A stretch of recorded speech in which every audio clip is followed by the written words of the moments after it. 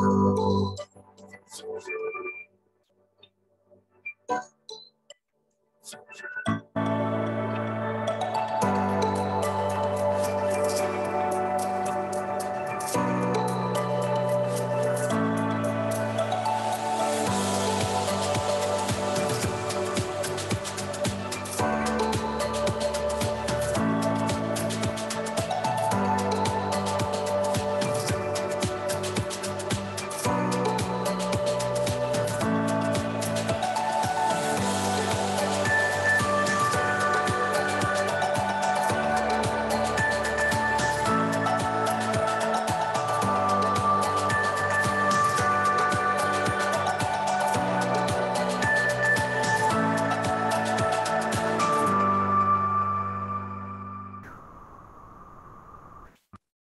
welcome to another exciting edition of Waggoner Webcast Live. I'm your host, Brian Bushlach. Glad you could join us wherever you may be across the Pacific Northwest, up and down the West Coast, around the world. We've got Mark Bunzel joining us from Margaritaville. An update in just a minute from Mark, as well as Leonard and Lorena Landon joining us from HQ in Anacortes, where it's not snowing right now. We're glad to report that. And uh, I want to thank everybody for joining us. Mike Beemer will be along with us here in just a bit to talk maintenance. Mike, good to see you as well. But first, we kick it off with you, Mr. Bunzel, down in paradise. Where are you coming from tonight? Well, that's a good question, Brian. It's always fun to be, you know, reporting remotely. And uh, I'm on the uh, Virgin Islands Flotilla 2. And right tonight, we are at Leverick Bay. Uh, just a stone's throw across from me is Sir Richard Branson's private island, Mosquito Island and Necker Island and uh, our group is just having a great time. We uh, today we rented a a safari truck, which is one of those trucks that has two benches down the middle and a canvas overhead, and we packed our group of ten on board, and I drove over the top of the island, and uh, it was a little harrowing at times. And we went down to a magical place called the Baths. And Leonard, why don't you go ahead, play the pictures while I'm talking, and I'll point out the picture of the bass. These are pictures from our group from last week. And yes, the water is truly that color. And, and it feels so good when the, when the conditions are like that with the sun shining, the sandy beach, it's warm, the air is 80 degrees, and it's snowing back in the Northwest. I, I think that's just fantastic. But our group is having a great time. Tomorrow we go to uh, we're going to do some sailing this week. We're on a, uh, uh, Voyage Charters 50 foot sailing catamaran, and we're going to do some downwind sailing tomorrow. Really looking forward to that. We're going to go down to a place called, by the way, we're right in that picture right now. Uh, that picture is taken from Hog Heaven, and the marina we're at is right straight in the middle there. Uh, for those who, who know the area, Saba Rock is off in the distance, and Richard Branson's Necker Island is over there slightly to the upper, uh, the upper left. So uh, tomorrow we'll head down to the uh, Cooper Island Beach Club. We'll have a nice lunch there on the deck. You can go ahead and trigger the, keep cycling the slides. There we go.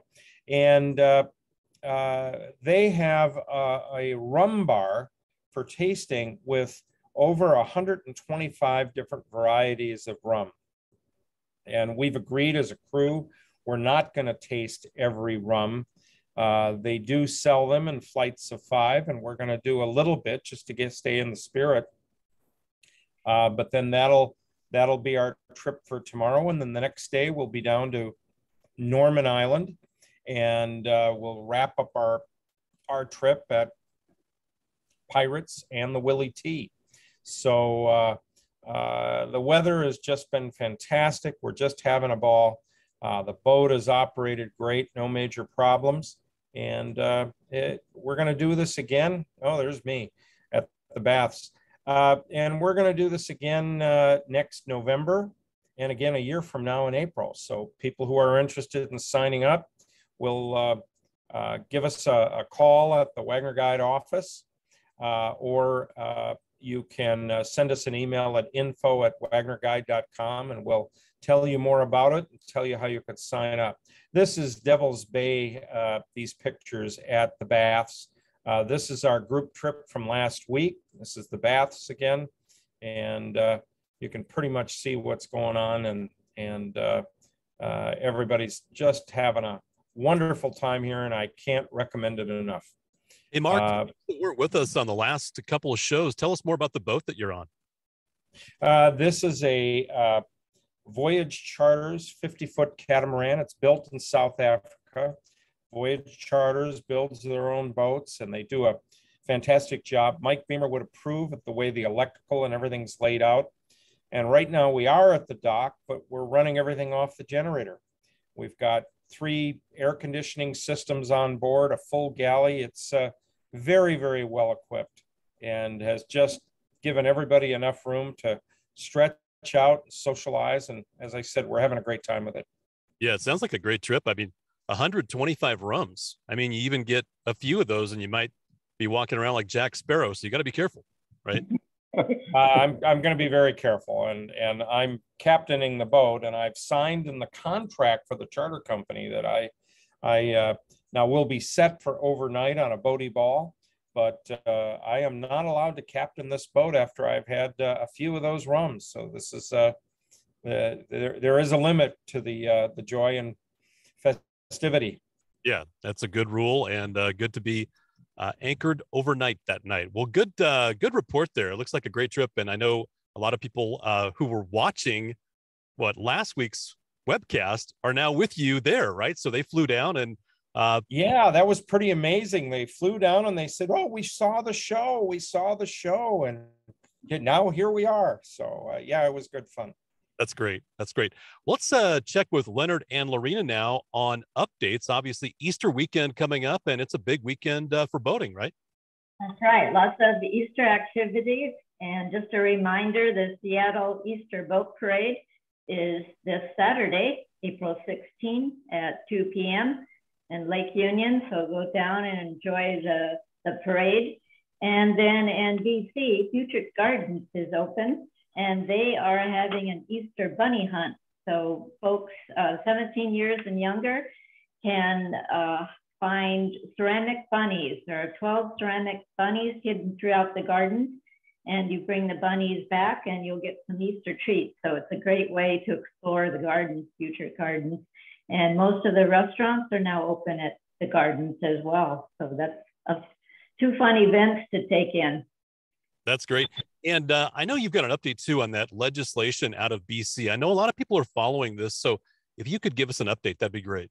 Yes. Um, Canada is drafting uh, legislation for luxury tax on boats over $250,000, which also includes if you do any improvements over $5,000 made by the owner within 12 months, within a 12 month period, that would also uh, be subject to luxury tax. So NMMA, the National Marine Manufacturers Association of Canada, of course, are concerned about the impact on the industry that, that this would have.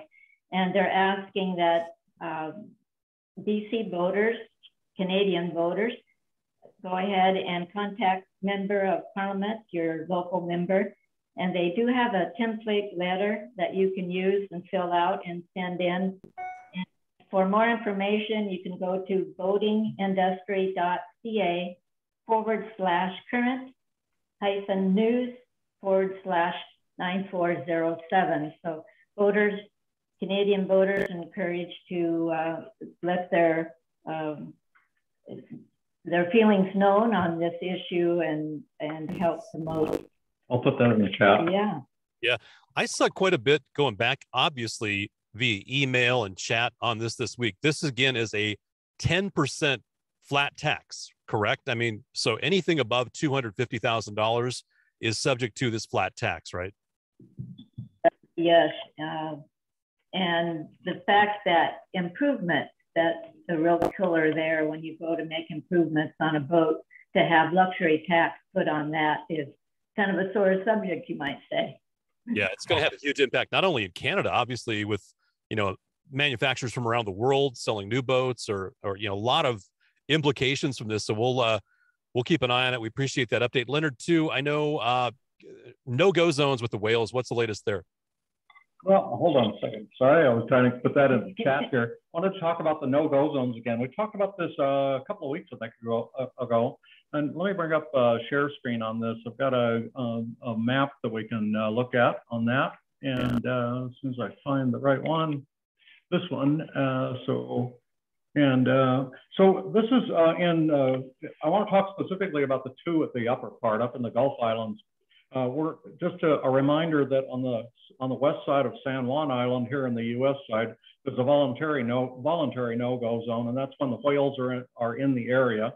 Uh, that's a quarter mile offshore. That's voluntary. It's year-round when the whales are there. And the one that's of interest right now, or the two actually, are the ones in BC. The one of them is off the west, southwest side of Pender Island uh, up here, and then the other one is off the southwest tip of Saturna. The, the important thing to know is that they're enforcing this, or they were in uh, last year. This, these two zones go into effect June 1st, and they run until November 30th of each year. So right now they're not in effect as far as we know. Last year we had reports one a boater that was sighted uh, in the one just off of Pender Island. That happens to be right off of Bedwell Harbor. So after you clear customs in Bedwell Harbor, uh, the the normal path is to go along the west side of of North Pender Island. And that's what some boater was doing last September and inadvertently went into the area. They were uh, cited and they were fined $3,500 for uh, intruding in that area. The, the fine was reduced to 2,400 and something dollars, but that's still, that's, it's nice that it was reduced from 3,500, but that's still a, a, bad day. So just want to make sure, make, uh, make sure everyone is aware that these uh, no-go no-go areas are in effect uh, from June 1st to September 30th. The, um, the other one on that one, hold on a second. Uh, we assume at this point these are going to be in effect for 2022.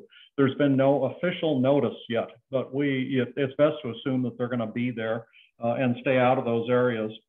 Uh, it's no boats in, in, those areas at all, and it is it's irrespective of whether there are whales there or not.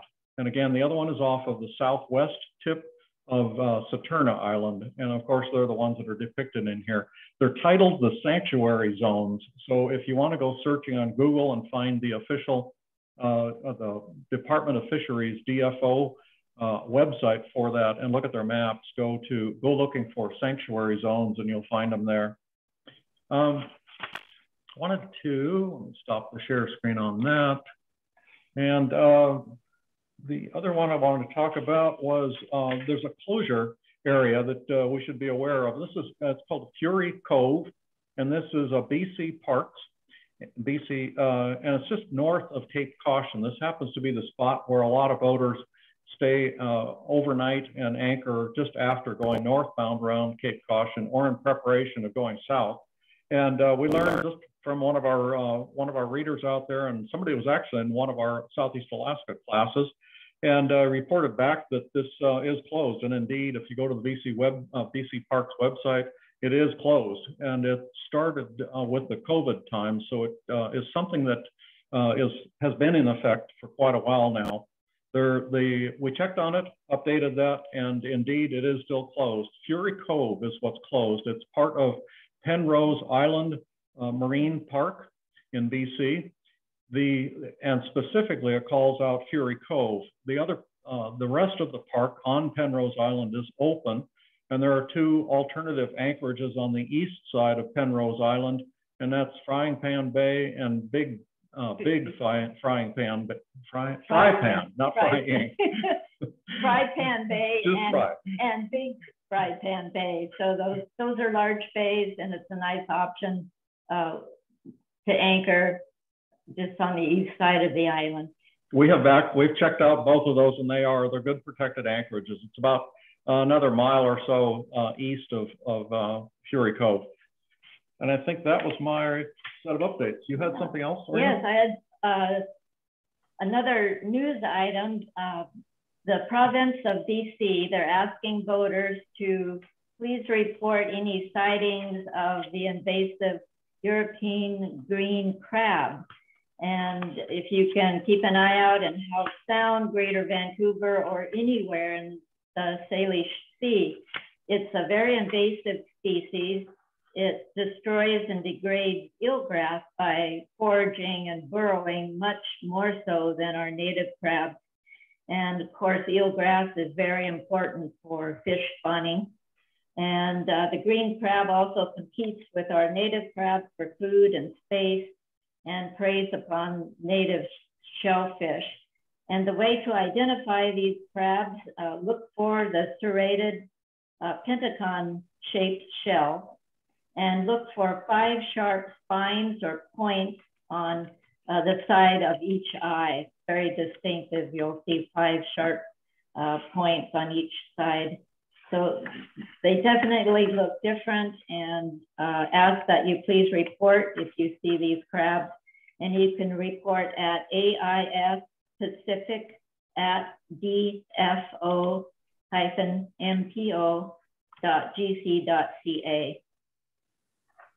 So should you throw a crab pot out and try to catch them? Or, I mean, you just, you report them and, and, and float away. You might pull one up uh, with the other crabs. And if you find one of these odd looking crabs, please report it. Yes. They don't look that edible. they don't look very pleasant. Yeah. eat it. I was just asking, what do you do? I mean, is it, you know, take a picture of it and email it in, I guess. Okay. Wow. That's, uh, we'll have to get a picture of these guys for our next episode. So we will be able to specifically identify them. That's good. There's your homework for our next episode. Okay. Time to welcome our special guest. Good idea, Brian. What's that? I have a few more updates, Brian. Okay. Okay. To touch on a few marinas, BC marinas, just touch on a few so Mike has plenty of time for his presentation and we'll continue uh, more on BC marinas next Thursday. But voters have been asking about Hartley Bay. It's a fuel dock open and we can report, yes, uh, the fuel dock is open uh, to non-residents. They were closed last year. So you may stop and get fuel. The band is still deciding if they're going to open moorage and the community to non-residents. So we'll keep uh, track of that as well. And then the tiny village of New Vancouver, which is in the Broughton Islands, they have made the decision to remain closed for 2022. It is a very small native village, and they tell us so far that they're planning to stay closed. And Leonard talked about Fury Cove, uh, Shearwater. Lots of voters have been asking us about Shearwater. It was purchased by a local band, and there was concern that maybe it would not be open. I just spoke with them. The fuel dock is open. The bar and grill is open. Uh, moorage is open. Grocery store, marina store, uh, the shipyard is open. So it's back to business as usual. So that's good news because it's definitely one of those oases in northern BC where boaters stop for fuel and supplies. So uh, they're open, ready to welcome guests. And just a reminder, all those, all that information is on Waggoner Yeah, we'll be stopping there with the the Waggoner flotilla. We'll be stopping there. Great. Okay. Great. Well, that's good to hear. Anything else on the updates? We will save them for our uh, updates next Thursday, where we focus on on uh, many more marinas in BC and what's happening, what's open, what's closed, and uh, the plans they're making. That's great. Yeah, you guys do such a great job keeping everybody updated. We appreciate it. I'm sorry I jumped the gun there because I was excited to get Beemer back on because we did a podcast with him, I don't know, a couple years ago. And I learned more in probably an hour with Mike Beemer than I had in in years. So I want to introduce Mike officially. Welcome to the webcast. Mike Beemer is the department chair for the Skagit Valley College Marine Maintenance Program at the Marine Technology Center in Anacortes. Uh, he's been presenting and teaching professionally for about 20 years and holds a master's degree in education. I know many of you already know Mike, and you're glad to see him back. Uh, he and his wife Lynette have cruised throughout the Pacific Northwest uh, from Anacortes to Southeast Alaska on their motor sailor, the Black Pearl. And his areas of expertise include diesel engines, electrical systems, which is very interesting uh, to hear him talk about that, uh, solar, new battery technologies, and other areas of boat maintenance. Mike, welcome to the show. Great to see you and have you back. Well, thank you, Brian. Yes, it's uh, always fun to do these little events and and start getting involved. There's so much energy right now um, as our weather is breaking. Not quite as nice as what uh, Mr. Bunzel is experiencing, but it's definitely that time when we start digging around and and getting our boats ready to go. I've been out on a couple of shakedown cruises already, uh, Lynette and I, and so amongst trying to balance our regular job. But um, yeah, I just want to spend a little bit of time tonight uh, talking about checklists and how you get your boat ready to go and how you pay attention to things as our boats become more and more complicated. And you know that complication is good and it's a two-sided card because the good is you know comfort and all the things we want to, to enjoy and have but yet we don't want to be slaves to them and we want our you know everything to be kind of reliable so um, i put together a little presentation i'll share um, i'm definitely open to questions at the end and um, you guys will be uh, leonard and Lorena monitoring the chat as we go and they can always pop in and ask me questions if they happen i'm going to try and share a few free resources and and just get us kick-started and down down in the trenches of maintenance. It's uh, my job I love, but it's not the most. We, we like to have boats to take us places and for adventure and like Mark said, these side trips and um, and somehow I'm the guy that's down in the weeds checking the batteries and the motors and trying to make sure that everything works and, and train new technicians, which we definitely need. And so that's my passion and we'll share a little bit of that tonight with everybody. So um, so here we go, share the screen. And we're gonna talk about checklists tonight. Um, but before we do, um, it was put out there, uh, Leonard and Lorena, the Waggoner Guide, we have a little prize tonight. And so uh, we have a tool bag. It's very appropriately named for somebody who has a degree from UW. It's a nice husky bag. Oh, And I know, Leonard, you Cougars, it's probably why you're getting rid of it, you know. But um, so we're gonna have a little competition, and I have, I gotta admit, I'm kind of a tool junkie, three or four different bags, and so this is a bag that was kicking around at Marine Tech, and tonight what we're gonna do is have a little competition. So you got to look at these pictures, and we're gonna use the chat window, and you can see I've, it's got a bunch of junk in the middle, pipe wrenches, and here's some electrical tools and my torch, and then. Um, of course, you got to have a flashlight. I'm a headlamp. Where I, I go everywhere. I drive my truck with this on usually when I leave the boat. A little screwdrivers, tape. But what your task is tonight, the winner of this this tool bag. Now it's not full of tools. This is just a nice new tool bag that didn't fit in the boat or whatever. And so it'd be a place where you could start accumulating your stuff. So when you do these spring maintenance checklists, you have a place to keep all your tools. And so we're going to try and figure out the closest you know, like this is the price is right without going over. You can't say there's 500 tools in there and hope that everybody else is wrong. So put your uh, guesses in the chat, and eventually, if we somebody hits it exactly, they'll let us know. Um, but if not, when we get to the end, we'll say find out who is the closest, and then uh, Leonard says we can email uh, the Waggoner guide or call them up and say you were the winner and, and get arrangements to get your new tool bag. So thanks to you guys, the Waggoner Guide, for doing this. I think it's super fun. I generally at my little barbecues can barely give away a hat, so nonetheless, a nice tool bag. Mike, this is incredible. The the numbers are just streaming in. We're gonna have to watch that Yeah, and see who we have as a winner. there we go. And luckily, it's not me watching the numbers. So let's Yes. talk about our boats for a second. Um, it's a huge investment and not just money. We just heard about luxury taxes and stuff, but just the emotional energy that people put in, the physical energy of washing it, and hopefully doing your homework tonight and crawling around and getting ready for spring. Um, you know, and obviously none of us have to have a boat, but if you're tuned in, I bet you every one of us has or wants a boat for sure.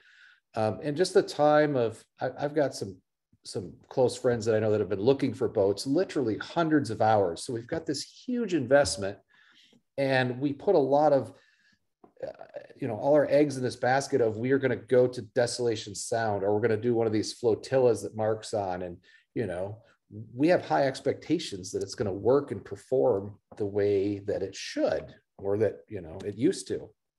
And so i always reflect back. I was just in florida um, got to go on four boat rides and checked out some national parks how many of you have flown recently if you look at the airline industry i mean they are nervous flyers i'm one of them but those planes just don't drop out of the sky they seem to work very very well i mean unless there's a hurricane and why aren't our boats like that?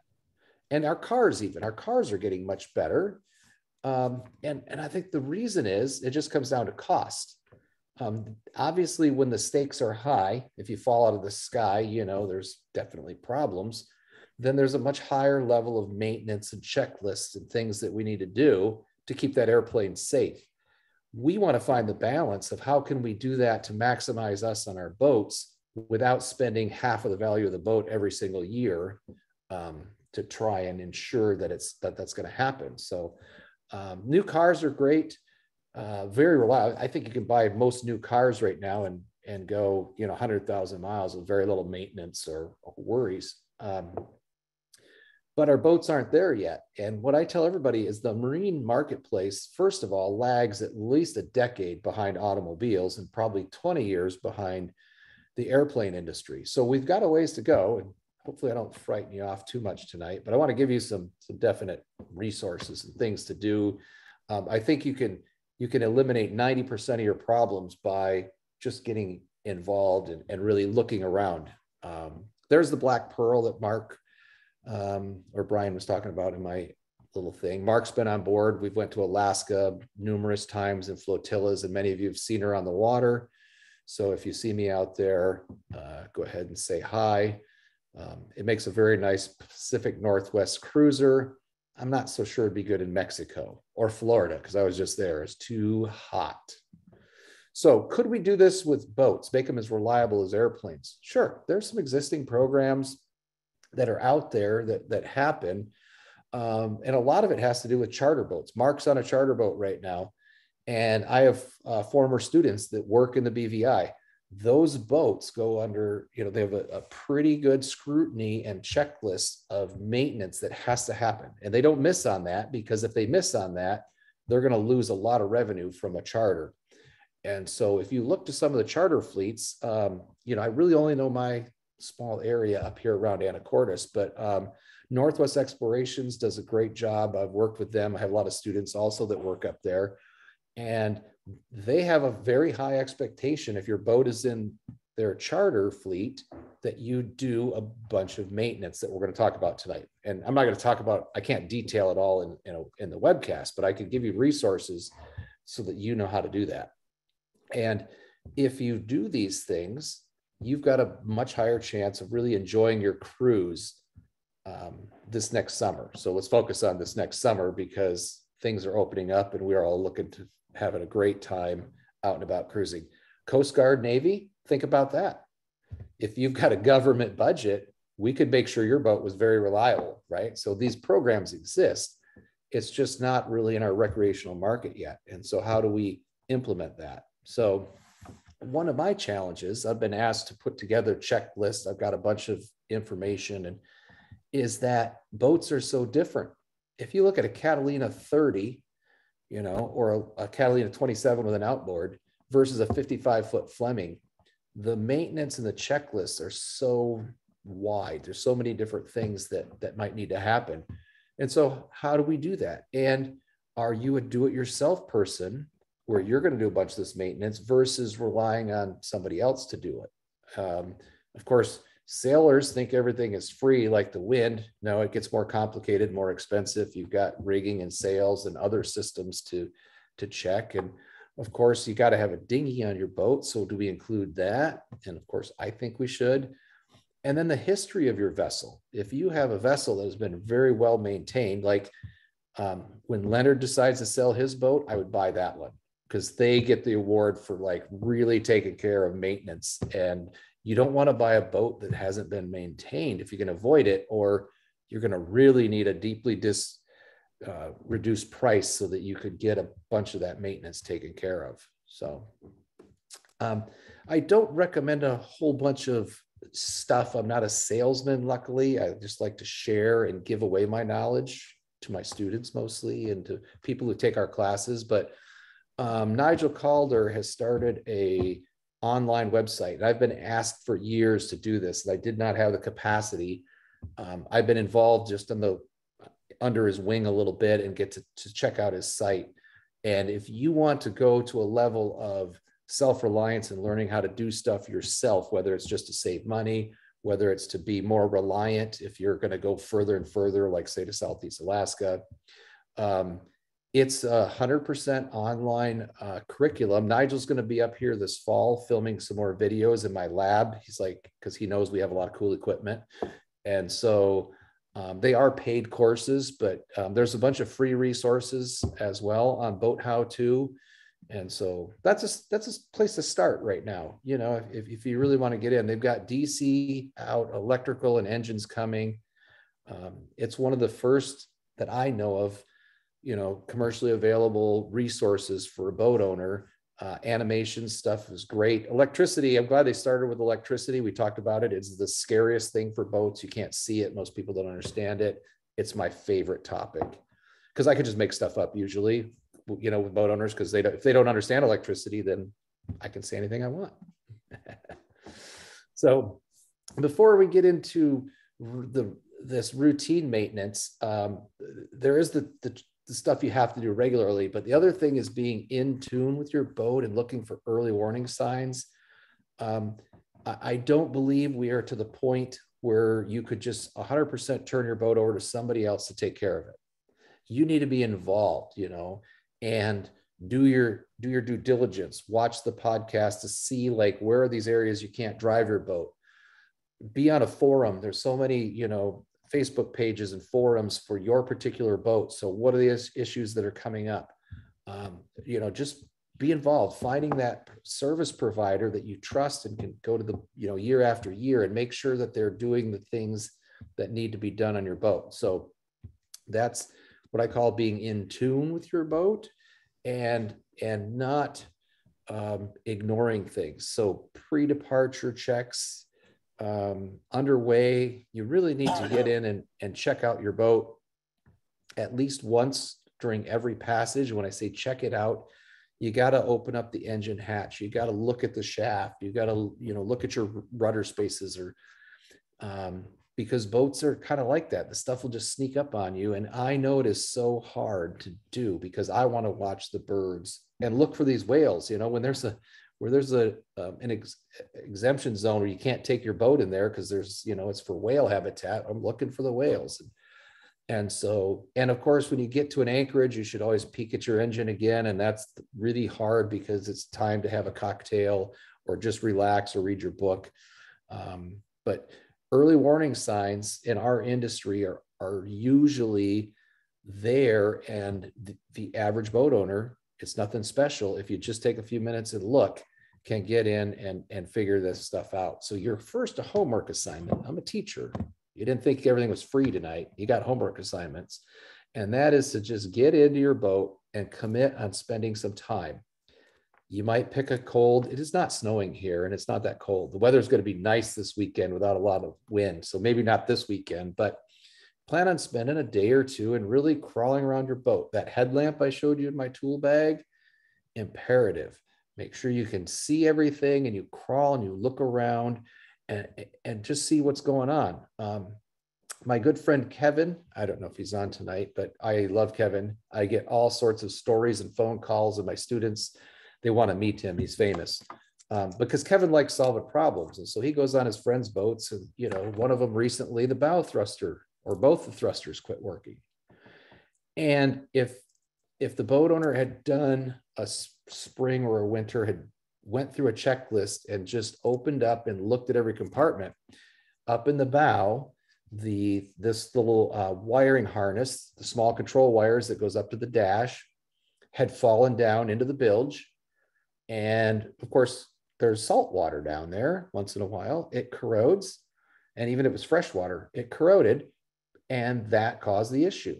And it just by virtue of him opening up and saying, Hey, what's going on with this thruster? Let me look into the compartment, found it. Now, you don't want to crash your boat first and then go looking to see why it quit working. If you do this homework, and I say every space, the anchor locker, the lazarette, and if your lazarette is packed full of stuff, if you're quasi hoarder because boats are small and that's the only place you got to put like 17 different things, you got to take those things out and look and find out what's going on. So this wiring harness, they hooked it up, respliced it together, and shabam, they got the thrusters working again. So, you know, luckily they didn't crash the boat coming and going when they noticed it was working, but that's you know, Murphy's Law is that's when things actually start happening on our boat. You're coming back to the marina and it's blowing 20 and you're trying to park the boat. And that's when the thruster is going to give out and you're going to be having a bad day.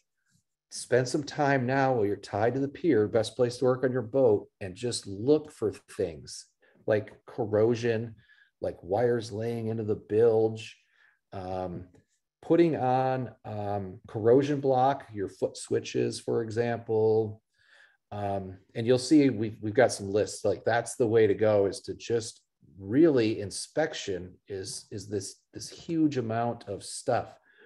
Um, your fuel filters your fuel system. So we this isn't a full and, and by the way we do teach classes up in anacortes. Um, i'll give you the website later. Um, mark teaches he's going to teach a weather class coming up and fun stuff. But the early warning signs are there. And so now's the time to check them out. Don't wait until it's that first cruise to Friday Harbor to make sure that Herb's Tavern didn't burn down, you know, and they're still pouring beer. But um, get in there and check it out. So on the YouTube channel that I've started, which is really good for boat owners, the Scallywags, you should watch the vacuum gauge tech tip. There's your early warning sign that your filters are plugged.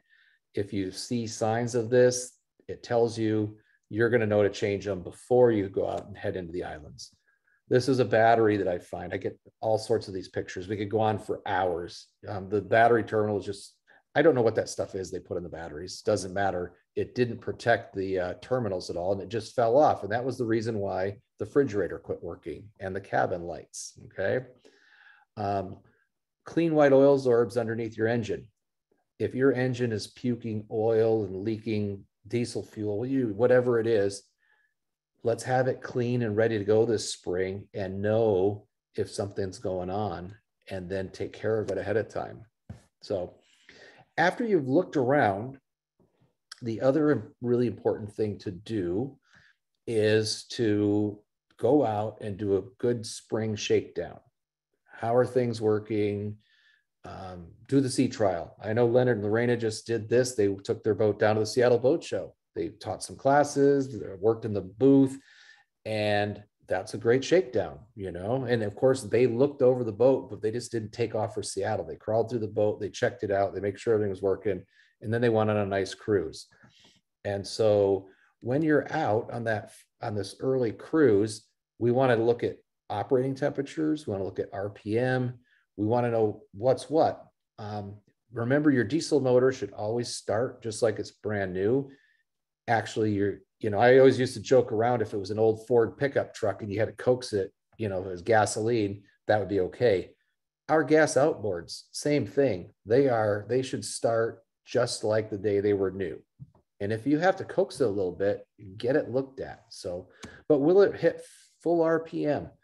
Um, there is so much you can tell about the health of an engine by just doing a quick little shakedown cruise. Go out and run it at your normal RPM and then do a full speed test and document those results. If they're repeatable every six months, that's another, you just keep clicking off those boxes that you're getting closer and closer to hopefully having a really nice cruise.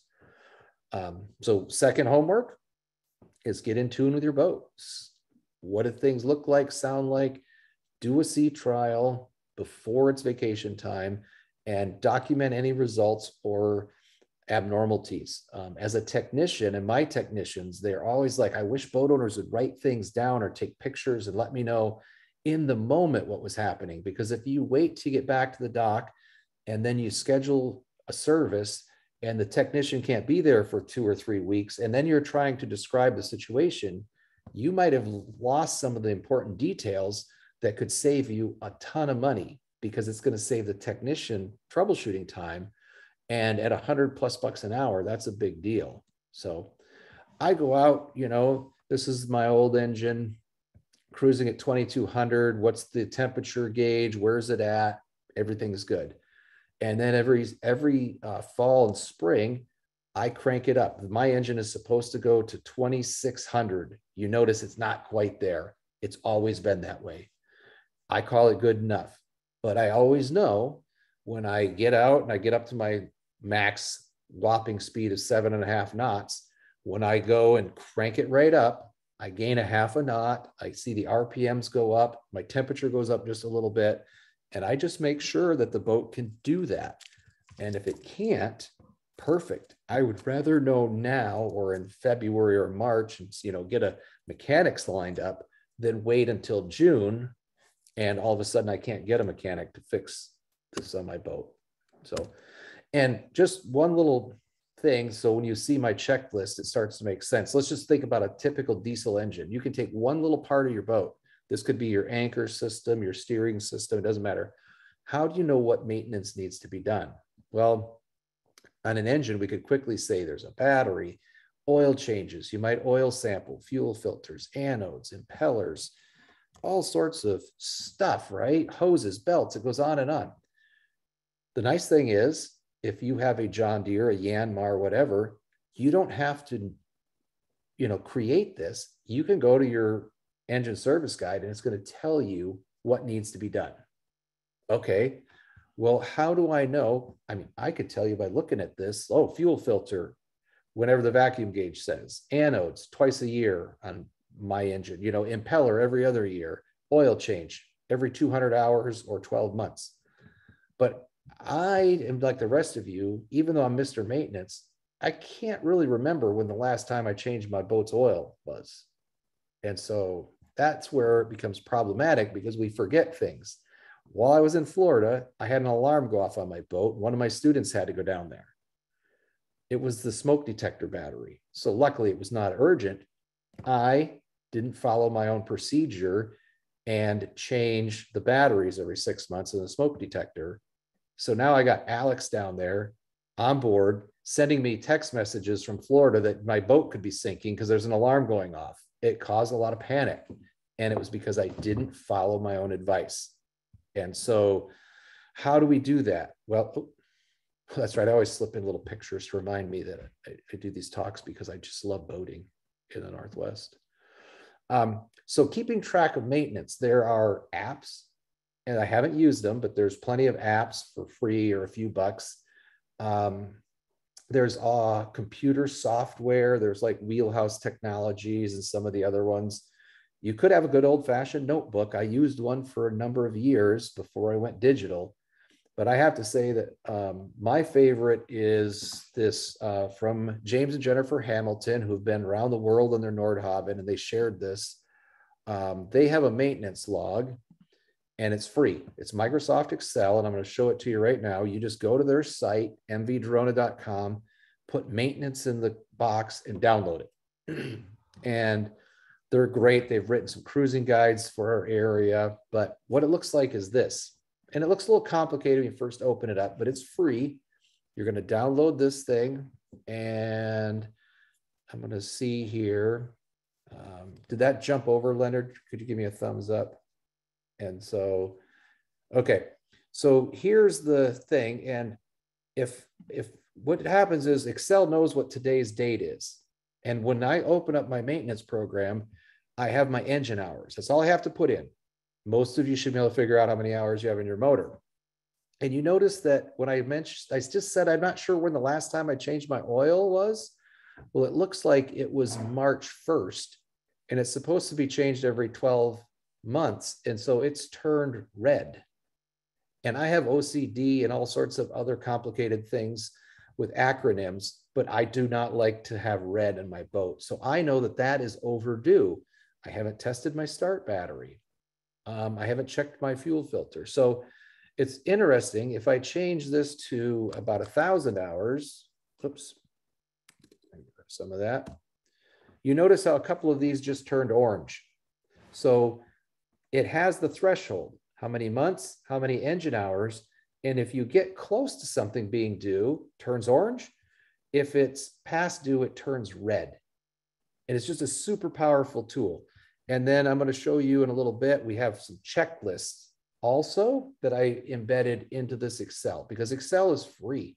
All you need is a $100 laptop from Costco and you can typically run this software. Um, so this is uh, James and Jennifer again when the things turn red. So there's a few issues with free. I would say there's nothing more expensive than free. The when you download it from them, you need to go in and either you or your maintenance provider, you need to find out when your particular service intervals are. And it's really easy um, when you look at this. If you if your engine is 400 hours on the oil change, you just type 400 in the cell. That's what's really slick about it. You just modify it for your particular boat, which is good, except it's also bad because it's relying on you. And it would be nice if I had a package I could give to you for your Ranger tug that just said, boom, here's everything you need to do. So, um, but I still think that it's it's one of the best tools that I've used. So, because you could miss something. Once again, you go back to the forums and excuse me. As you learn things about your boat, you can add to it anytime. You're not limited by that by that research. So um, and by the way, I mentioned earlier, a boat that's been very well maintained has a higher resale value. It's easier to sell. And I know we never really think about selling our boats, but trust me, three foot itis, it's a thing. And so you could be looking for that upgrade. So, so here's your homework. Figure out what system you're going to use, whether it's an app, some software. Maybe you need to update or modify what you have. Get your equipment put in here and create this list. Okay, so where are some places we can get that? Well, um, if you keep an eye out, sometimes Mark teaches a, a, a class called Manage Your Boat Like a Pro. Um, we have checklists we're going to give out. Um, the flotilla to Alaska, this is where our main checklist started because we were taking people to Alaska and they asked us at the Waggoner Guide, a, a you know, 100 questions about what do I need to do to make sure I'm ready for that trip. And it doesn't matter if you're going to Alaska or, or for me, or over to Herb's Tavern on, on San Juan Island, you know, um, you should be maintaining your boat to a certain level if you want it to be reliable. And so um, this is going to is available as a Waggoner guide. Um, if you email, let me see, I think it's on the next slide here. Yeah. If you email info at waggonerguide.com, you'll get a copy of the 2021 Waggoner checklist. And it's a great place to start. And so thank you, Mark, for sharing that. And um, you and I have contributed and put this thing together, but we're not selfish. We would just assume that you were happy and enjoying the waters. So um, you can get this list. And then your homework is so here it is. Here's a task, you know, does your engine room have enough lighting? You can't inspect it if it doesn't. Um, uh, your macerator, turn it on. And so this is about a four to six page document of all the things that we know from experience that you should do.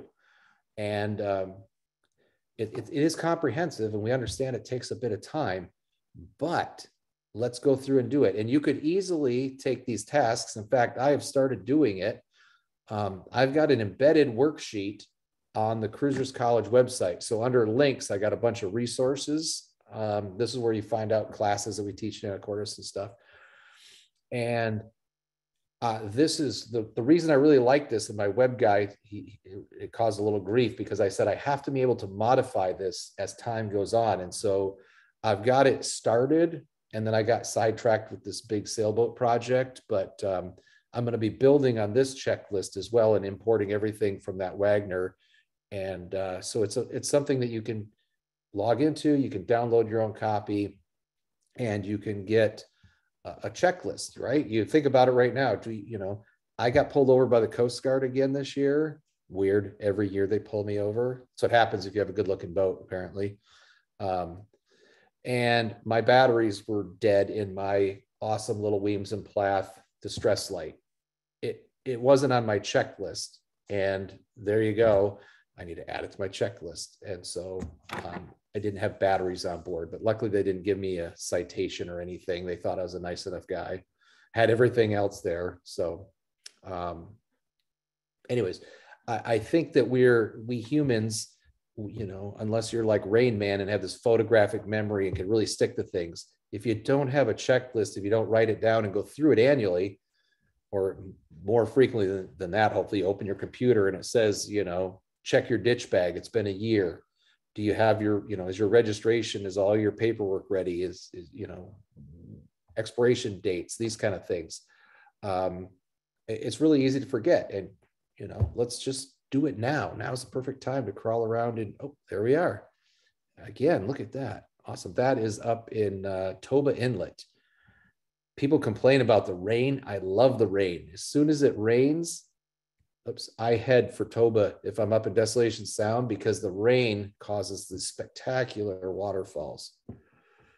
Um, I always recommend a couple of uh, alarms um, as we ra- as for every one of my talks, and because boat manufacturers don't necessarily put them in, we want to have a high bilge water alarm and we want to have an exhaust temperature alarm. Uh, both super easy. Um, Aqua Alarm is a company that you can Google um, and have your mechanic retrofit those two alarms. But if you don't have them on your boat, and you should test your engine's alarm system when you turn it on, you should get a low oil pressure alarm and maybe you know a couple of others, but make sure that you're you're you're doing that on an annual basis.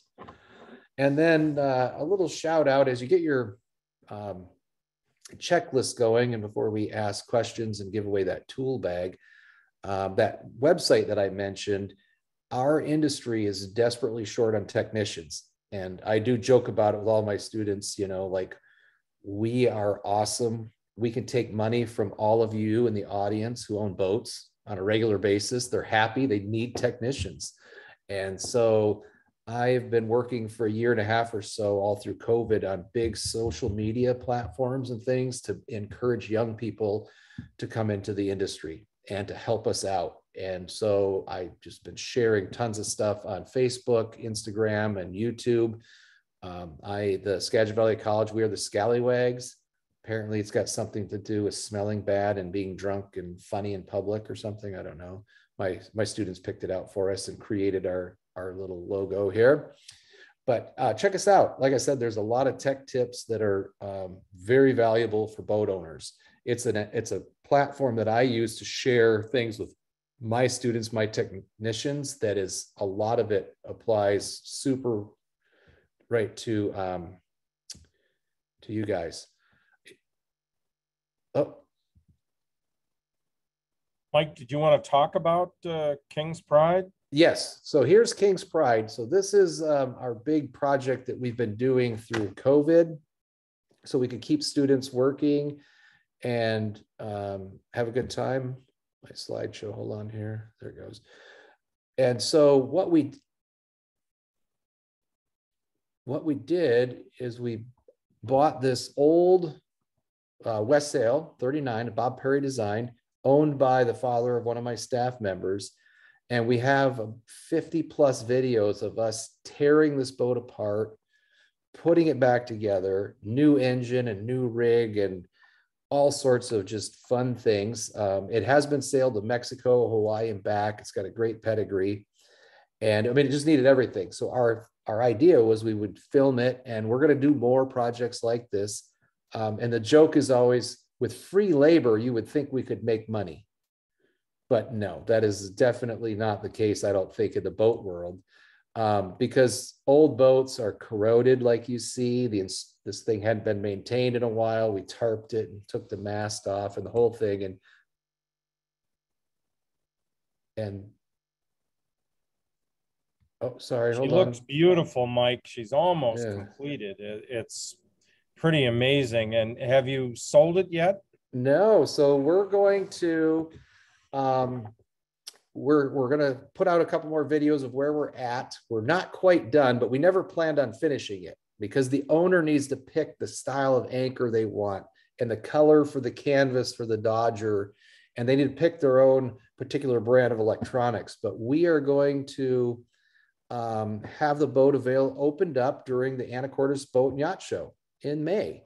And Trawler Fest is going to be in Anacortes. The school is going to be there. We're doing some classes, but we're going to have staff so people can come and look at it.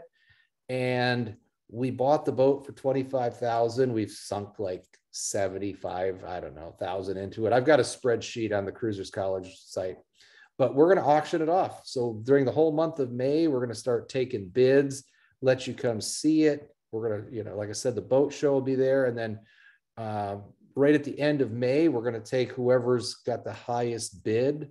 We're going to put the new bottom paint, put the boat in the water. We're going to do some sailing, us that worked on it and then we're going to transfer ownership this summer to uh, somebody new. And then we're really hoping it's somebody local in the northwest that wants to to take this boat and and go out cruising. I mean it's capable to go around the world. And so that's um, exciting mike. Uh, i watched this project evolve and it's just amazing and it's such a great teaching experience, but uh, uh it's a phenomenal boat you've selected, and and the work is just incredible. Yeah, thanks, Mark. Yeah, you've been on board, and we've got lots of local industry support, the Waggoner Guide supporting us, and so um, go check us out. Likes and uh, sub- subscriptions help, but really we're just sharing information. We're doing a lot of cool side trips and boat projects on the channel. Those tech tips I talked about I've got a really cool uh, lineup of people that we get to interview that I love to share. Um, I feel a little selfish, you know. I've had Bob Perry in the building numerous times. He's coming back either in end of April or May. Nigel Calder's coming in this fall, and um, we've got Al who created Wakespeed, one of the best voltage regulators, you know. And so um, I'm getting set up in the shop so we can video and share these experiences similar to what you guys do with these webcasts but unfortunately when i bring in people they're during the day and they're they're there mostly for the technicians and and to support the projects but i'm going to most of them are willing that i can film it and, and put it up on the channel so that all of us can kind of experience you know some of these legends like bob perry and nigel calder so.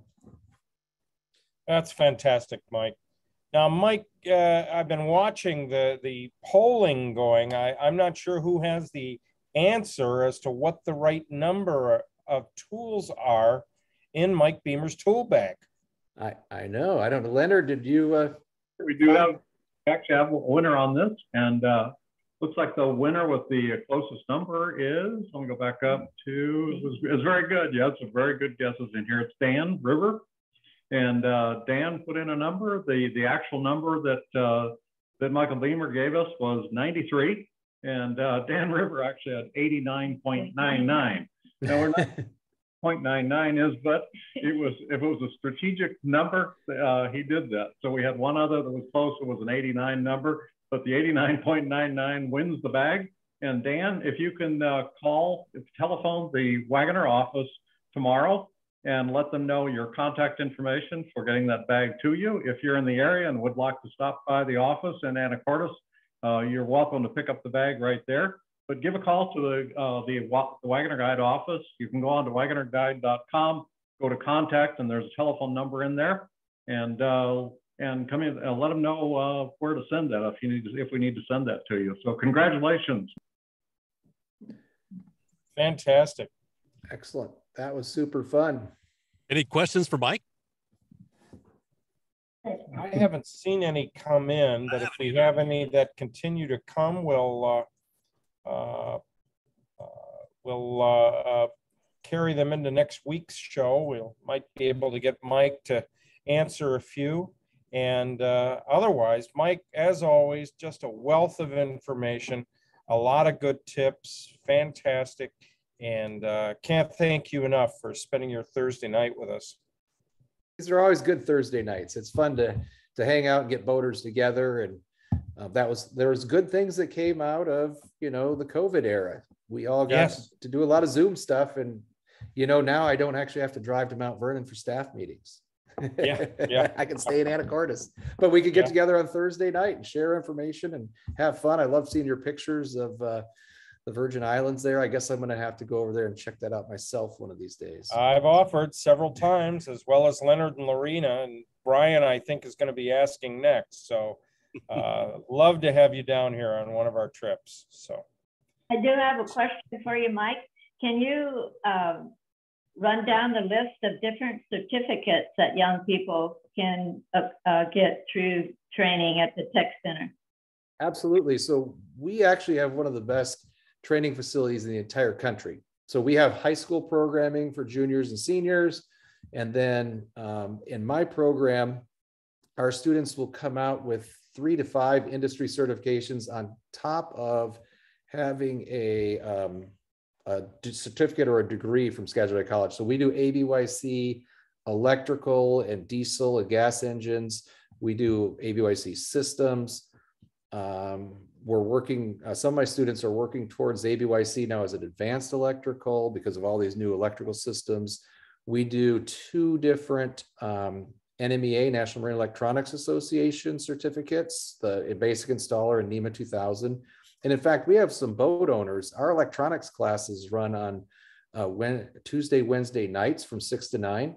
And we have boat owners that come and take that class so they can build their own network and understand the NMEA, and they could actually get a certification. Um, and then we have uh, Yamaha outboard level one training as well. So we get lots of certifications. And then at the end of the two year degree, I'm pretty excited. Skagit actually has started a bachelor's. It's a two plus two, and one of my students is going to do it, meaning two year technical degree with some ABYC Master Tech status and now he is going into two years of applied management. So he's going to take business classes for the next couple of years so he can run his own business or be a yard manager. And so pretty proud of our school up here in the Skagit Valley. We're really doing great. And of course, we have Cruisers College, like Mark's teaching weather. We've got electrical coming up. We do seminars for weekends for boaters. And so um, it, it's a super it's fun a great place. program and uh, definitely worth looking into. Well, Mike, thank you again. And Leonard, Lorena, what do we have next week? We will continue our discussion on what's happening in British Columbia with the different marinas, which ones are open, which ones are closed. And we also uh, will be joined by Celine. She will be talking about the brand new Spring Boats Afloat show. She'll be joining us and, and giving us details about the exciting events that will be going on this spring at the show in Seattle. That's great. That's fantastic. And we don't publicize that one, right? I mean, well, we don't want to fill up, you know, email with a bunch of junk, right? So we don't send out the reminders on that. We just encourage people to join, right? On the on the webcast light, you mean? Yeah. Yeah. Yeah. So if you uh, register for that, we'll send you a reminder. So if you let us know that you want to be reminded, then uh, you'll get some reminders on that. We're, we're, uh, we're aware of not flooding people's email inboxes with uh, with stuff. So trying to keep it to good good information that we send out there. Appreciate that. Well, great show, Mike Beemer. Thank you again for joining us. Mark Bunzel, safe travels to you. I know you're coming back to the Great Northwest uh, this week, so uh, we'll see you here soon. Leonard and Lorena, great job as always on the updates. And we will see everybody again next Thursday night right here on the Waggoner Webcast Live. Good night, everybody. Have a great night. Good night.